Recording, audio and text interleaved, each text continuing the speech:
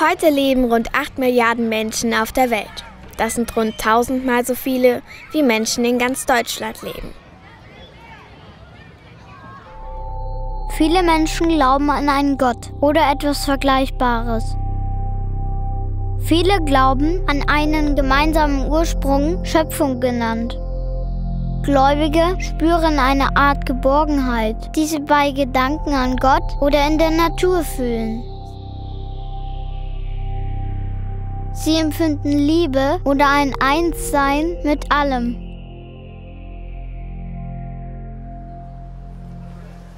Weit über die Hälfte aller Menschen glauben an eine der fünf größten Religionen auf der Welt. Das Christentum, den Islam, das Judentum, den Hinduismus oder den Buddhismus.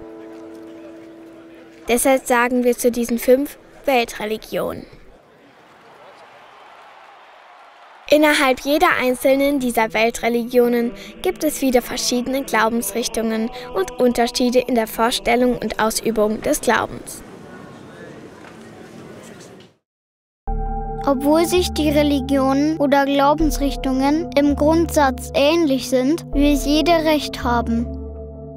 So gibt es Hass und Gewalt von manchen Gläubigen. Aber nur wenige Menschen benutzen Religion, um Krieg und Terror zu begründen. Und mit Gott und Glauben hat das wenig zu tun.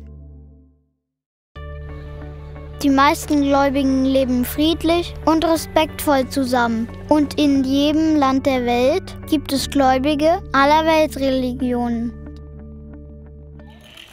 In Europa leben überwiegend Christinnen und Christen. Doch es gibt auch viele Menschen jüdischen, islamischen, hinduistischen, buddhistischen oder anderen Glaubens. Bestimmt auch in deiner Klasse. Jeder zu seinem eigenen Gott beten und dann die anderen in Ruhe lassen.